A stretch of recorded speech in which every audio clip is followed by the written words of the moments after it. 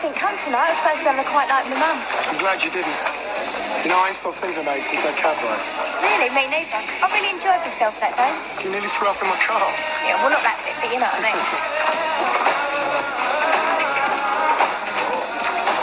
oh, no. Get your stuff. You what?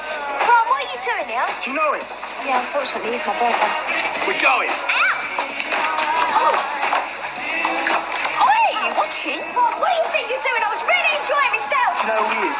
He's a really nice guy. I met him a while ago. Beppe Di Marco, nice. His name's Giuseppe. He's scum. He tried to steal Tiffany. It wasn't like that, Sam. He wanted her for himself. He's lying. If it wasn't for him, Tiffany would still be alive.